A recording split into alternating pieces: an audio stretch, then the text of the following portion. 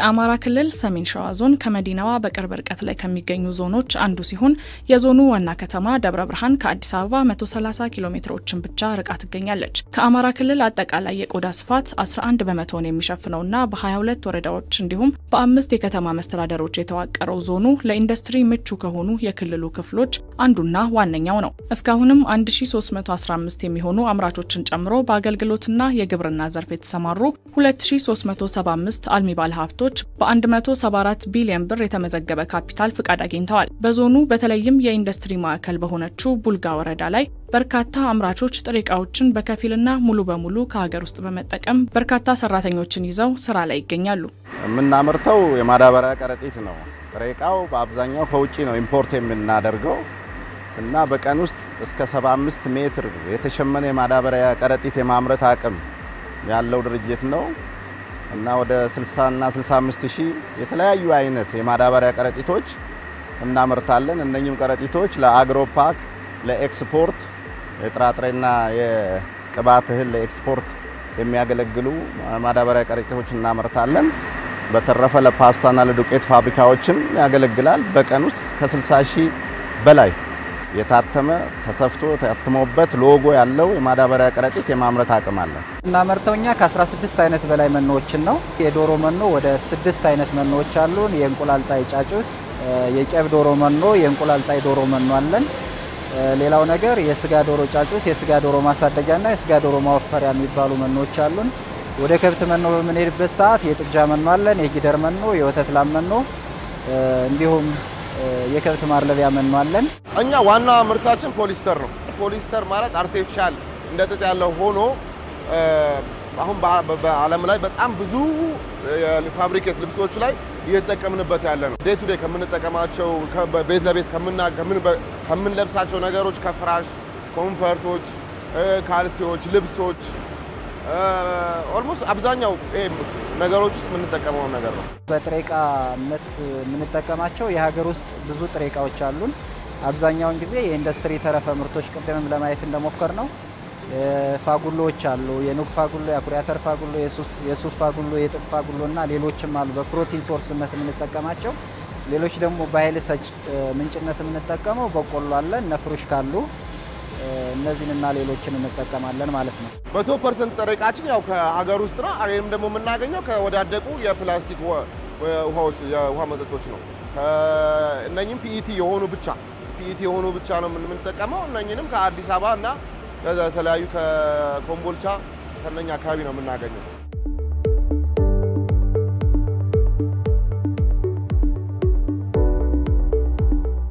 እንግዲህ ፋብሪካው ከጀመረ almost ሁለት ዓመት ከምናምን ሆኖታል። በቀን ሁለቱም ማሽኖች ስራ ላይ ከዋሉ ወይም ደግሞ በደንብ ከሰራን ከ1200 ኩንታል በላይ ምርት ነው የምናመርተው ማለት ነው። ከስራ እድል ፈጠራው ጋር ተያይዞ ብዙ ሰንሰለቶች አሉ። ያችን ሃይላንድ collect ከሚያደርጉት ሰዎች እስከ መኪና ጭነው እስከሚያመጡት ብዙ ብዙ ብዙ እንትን ላይ ሰንሰለት አለው። ለእነኚህ ሁሉ ሰዎች ደግሞ የስራ እድልን ፈጥሮ ነው ያለ ነው። ከ250 በላይ ሰራተኞች በአብዛኛው ሴቶች ያው እንደ ጋርመንትም ስለሚያደርገው ስፌት መሸመን ስለሆነ በአብዛኛው ለሴት እህቶቻችን የስራ እድል ፈጥረዋል። በአጠቃላይ ዞናችን ላይ በገቡት ኢንቨስትመንቶች በእቅዳችን ወደ 398 ሺህ ለሚሆኑ ዜጎች ስራ እድል እንደሚፈጥሩ በእቅዳችን የተመላከተ ቢሆንም አሁን በተጨባጭ ወደ 39 ሺህ ለሚሆኑ ዜጎች በቋሚነት የስራ እድል የተፈጠረበት ሁኔታም እንዳለ ማስታወስ ይቻላል። አራት ዓመት ባልሞላ ጊዜ ውስጥ ከ250 በላይ ፋብሪካዎችን ማስተናገድ የቻለችው የቡልጋዋ ቱለፋ ከተማን ጨምሮ ሌሎች የዞኑ የኢንዱስትሪ መዳረሻዎች የባለሀብት ምርጫና ማረፊያ እንዲሆኑ ዞኑ ያለው በርካታ የተፈጥሮ ሀብትና ማዕድናት እንዲሁም የሚገኝበት ቦታ ትልቅ ድርሻ አለው። የሰሜን ሸዋ ዞንን ስንመርጥ አንደኛ ከአማራ ክልል በጣም ለአዲስ አበባ ቅርቡ ቦታ ቱለፋ ነች። ይሄ ሰሜን ሸዋ እኛ ያለንበት ቦታ በጣም ቅርቡና ምርታችንን ወደ አዲስ አበባ በአብዛኛው ምርት የሚሄደው ወደ አዲስ አበባ ስለሆነ አንደኛ ለአዲስ አበባ በጣም ቅርብ መሆኑ፣ ሁለተኛ ጥሬ ዕቃም ከአዲስ አበባ ስለሚመጣ ከወደብም መጥቶ አዲስ አበባ ረግጦ ወደኛ ስለሚመጣ ለሁለቱም ያማከለ ቦታ ነው። infrastructure በጣም የተሟላ ነው። መብራት አለ። መብራት የማይቋረጥ መብራት ነው ያለው። መብራት አለ። መንገድም ጥሩ መንገድ ነው ያለው። ከአዲስ አበባ በጣም ቅርብ ነው። ከሰራተኛ ጋር ደግሞ ተያይዞ ሰራተኛ ማግኘት ይቻላል።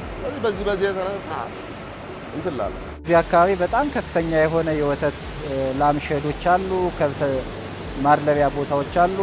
ዶሮ እርባታ ላይ የተሰማሩ አዲስ አበባ ዙሪያም እዚህም አካባቢ ሰሜን ሸዋ ዞን ላይ በጣም እየሰሩ ያሉበት ሁኔታ ነው ያለው። ስለዚህ እሱም መሰረት አድርገን ይህንን አካባቢ ወይም እዚህ አካባቢ ያለውን የወተት ፋርምና የዶሮ እርባታ ፋርሞችን ሊመግብ የሚችል መኖ መቅረብ ማቅረብ እንደሚቻል ካወቅን በኋላ ፋብሪካውን ወደዚህ ማምጣት አስበን አምጥተናል ማለት ነው። በተለይ ቱሉፋ ኢንዱስትሪ መንደር ነች። ጥሩም ትብብር አለ። ይሄን ትብብር ለኢንቨስተሩ የሚያደርጉትን ትብብር በቀጣይ በዚህ ሁኔታ ከዚህ በበለጠ እንዲቀጥሉ አደርጋለሁ። ሌላውን ቦታ እንደ አራያና እንደ ምሳሌ ይህን አካባቢ ቢወስድ በሁለት ዓመት ውስጥ እና በሶስት ቱሉፋ ከተቋቋመች ሶስት አራት ዓመቷ ነው።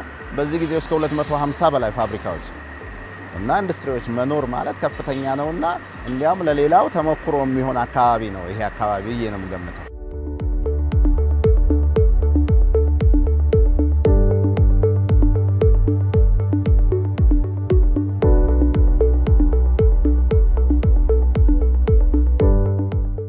እንደ አጠቃላይ ሰሜን ሸዋ በኢንቨስትመንት ዘርፍ ምቹ የሆነ አካባቢ ህብረተሰቡ ሰላም ወዳድ በተለይ በኢንዱስትሪ ዘርፍ የሚመጡ ባለሀብቶችን የሚያከብር ለባለሀብቶች ትብብር የሚያደርግ አካባቢ ነው። ከዛ ውጪ ለወደብ ያለው ቅርበት እንደ አንድ ምቹ ሁኔታ የሚታይ ነው። ለኢንዱስትሪ ግብአት የሚሆኑ ምርቶች የተትረፈረፈ የግብርና ምርት ያለበት ዞን ነው። ለምሳሌ የ agro processing ላይ ለመሰማራት ለሚፈልግ በእንስሳት ሀብት የጅሩ ሰንጋ በተደጋጋሚ ሲነገር ይታወቃል።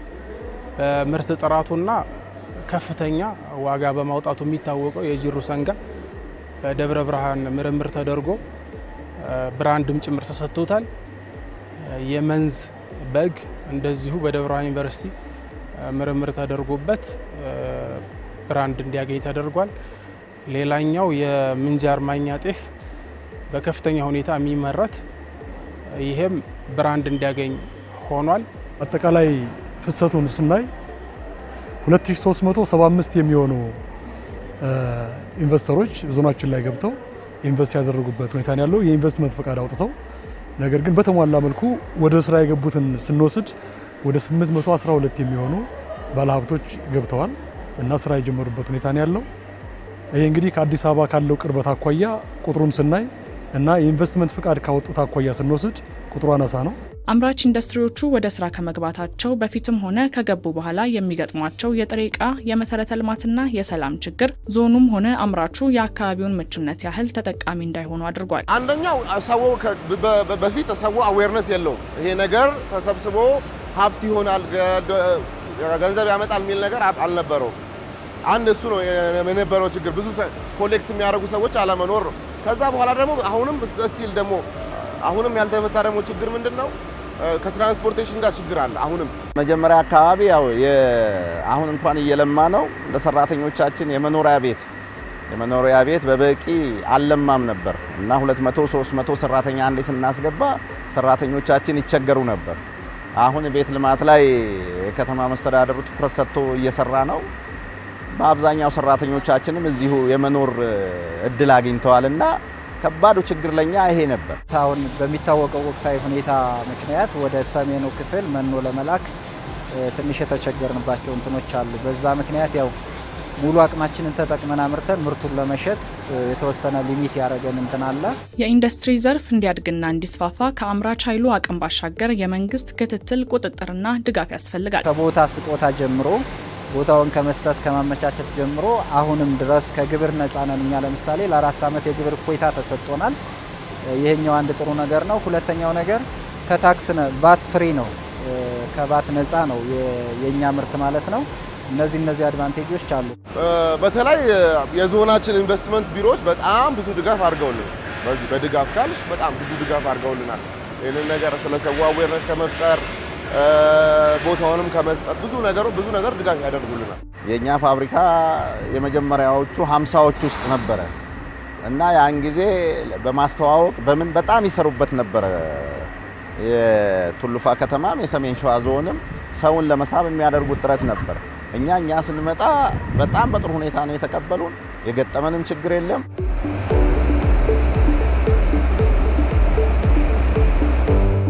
የአማራ ክልል ርዕሰ መስተዳደር አቶ አረጋ ከበደ ከሰሞኑ ፋብሪካዎችን ለማስመረቅ ለመጎብኘትና በዞኑ ከተሰማሩ ባለሀብቶች ጋር ለመወያየት ወደ ቱለፋ ከተማ አቅንተው የነበረ ሲሆን በዓለም ካለው ተሞክሮ ለሀገር እድገትና ለውጥ ከፍተኛውን ድርሻ የሚወስደው የኢንዱስትሪ ዘርፍ መሆኑን በመረዳት በትኩረት ሊሰራበት እንደሚገባ ተናግረዋል። ብዙ ሀገራት ወይም ደግሞ በዓለማችን የሚገኙ ሀገራት የሀብት ፈጠራ ልዩነታቸው ግብርና አይደለም ልዩነት የፈጠሩበት ወይም ደግሞ በአብዛኛው አገልግሎት ዘርፉ የሚባለው ነገር አይደለም።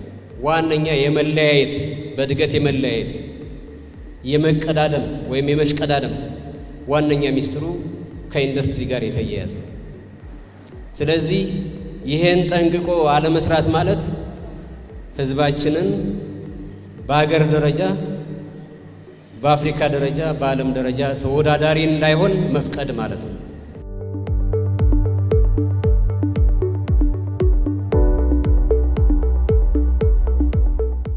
ከደብረ ብርሃን ይዘን እስከ አዲስ አበባ ባሉ area ዎች ላይ ያሉ ፋብሪካዎች መስፋፋታቸው እኛ ቅድም እንዳልኩሽ crop by የ food industry by product ነው አብዛኛውን ጊዜ የምንጠቀመው እና ቢያንስ 40 percent የእኛ ምርት ወይም የእኛ ጥሬ ዕቃ የምንጠቀመው ከምግብ ተረፈ ምርቶች ከምግብ ፋብሪካ ተረፈ ምርቶች ስለሆነ ኢንዱስትሪዎች መኖራቸው ለእኛ positive እንትን አለው። አንደኛ ከአካባቢ ብክለት ይህ አካባቢ ብክለትን ከመቀነስ ፕላስቲክ ያው ሃይላንድ በተለምዶ ሃይላንድ የምንለው ለ20 ዓመት ለ30 ዓመት ድረስ የሚበሰብስ ነገር አይደለም። ይህንን ተጠቅሞ ወደ ጥሬ ዕቃነት መለወጥ እንደገና የውጭ ብክለትን ከመቀነስ ውጭ ደግሞ ከውጭ ሀገር የምናው ከዚህ በፊት የተለያዩ ትላልቅ ድርጅቶች እነ ኮምቦልቻ ጨርቃጨርቅ፣ እነ ባህር ዳር እና አርባ ምንጭ የመሳሰሉት የሚያስመጡት ከውጭ ነበረ። ይህንን አሁን ሀገር ውስጥ በማቅረባችን ከእንደገና የዶላር እንትንንም እንትን እያለ ያው እየቀነስን ያለን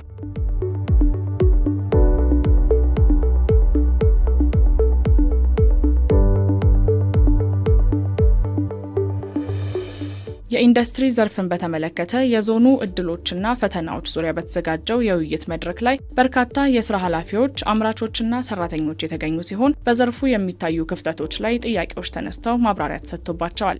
ከቡልጋ ከተማ እስከ ደብረ ብርሃን ያለው ታጥሮ የሚቀመጠው መሬት ነው ወይ የሚበረታታው?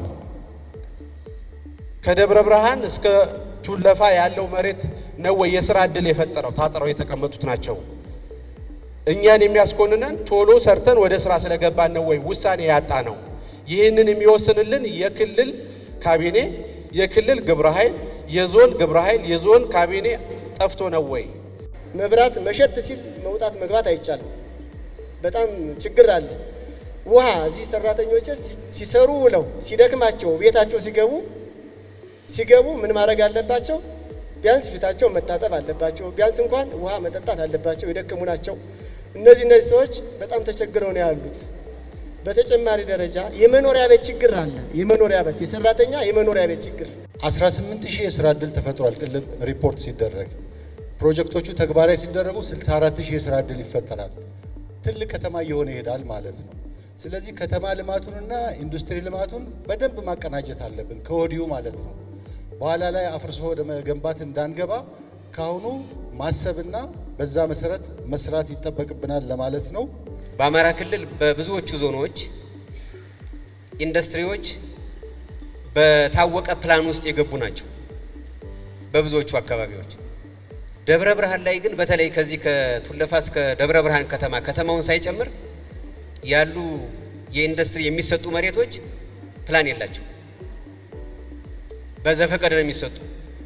ስለዚህ ወደፊቱ የደብረ ብርሃን መጻኢ ሁኔታ ምንድን ነው ቢባል ዛሬ ያለው ሰው መናገር አይችልም። የተለያየ ምክንያት ሊኖረው ይችላል። አንዳንዱ የኛው ራሱ ምቹ ሁኔታ ስላልፈጠርለት ሊሆን ይችላል። አንዳንድ ቦታ ደግሞ እና በአብዛኛው ብዬ መናገር የምችለው መሬቱን ካገኘ በኋላ በመሬቱ አማካይነት ሌላ ሀብት በመፍጠርና በመፍጠር ፍላጎት ላይ እየተመሰረተ ነው። በርካታ የኢንቨስትመንት ቦታዎች ታጥረው ተቀምጠዋል። አንዳንዶቹ ለስምንት ዓመት፣ ለሰባት ዓመት፣ ለአምስት ዓመት ታጥረው የተቀመጡበት ሁኔታ ነው ያለው።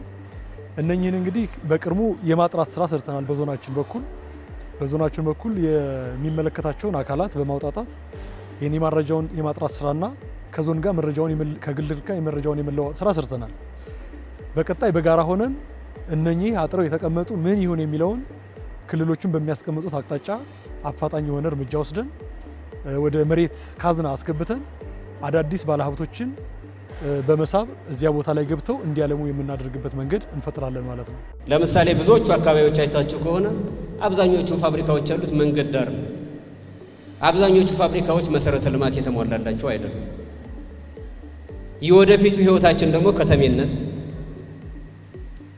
ከተሜነትንና ኢንዱስትሪ እንዴት አድርገን አስተሳስረን መስራት አለብን የሚለው ትልቁ ለአማራ ክልል የመመሪያ ማዕከል በዚህ አካባቢ ያለው የኢንዱስትሪ ልማትና ስምሪት ነው። እዚህ ጋር ተኩረን መስራት ይኖርብናል። በዞኑ ደረጃ የሚፈቱትን የመስመር መቆራረጦች እንደዚህ የመሳሰሉትን ከዞኑ ካሉ ያው ጋብዘናቸውም እዚሁ ተሳትፎ ስለነበረ እነሱም ጭምር ያሉትን ጥቃቅን ችግሮች ለመፍታት ፈቃደኛ ስለሆኑ ከእነሱ ጋር ሆነን እየፈታን እንሄዳለን። ግራንድ የሆኑ ትልቅ የሆኑ ችግሮችን ግን በክልል ደረጃ በእቅድ ጭምር ተይዘው የሚመለሱ ስለሆነ በጀትም ስለሚያስፈልጋቸው ይህን በተደራጀ መልኩ ለክልሉ የምናቀርብበት ሁኔታ ነው የሚኖረው።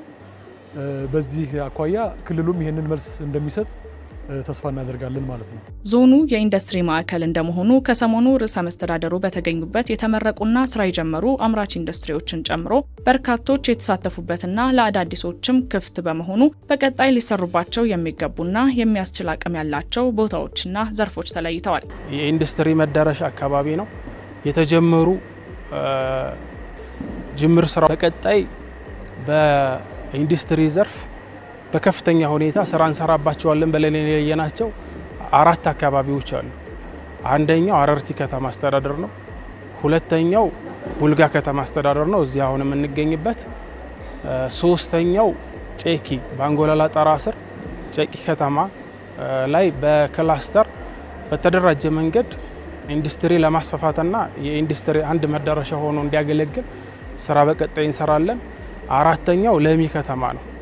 የለሚ National Cement ን ተከትሎ እዛ አካባቢ ላይ በርካታ እምቅ ሀብት የማዕድን ሀብት ስላለ እሱንም ለመጠቀም በዛ ዘርፍ የተሰማሩ ባለሀብቶችን ሌሎች የሚመጡ ባለሀብቶችንም በተደራጀ መንገድ እናስተናግድበታለን። በርካታ ማዕድን ዞናችን ላይ አለ።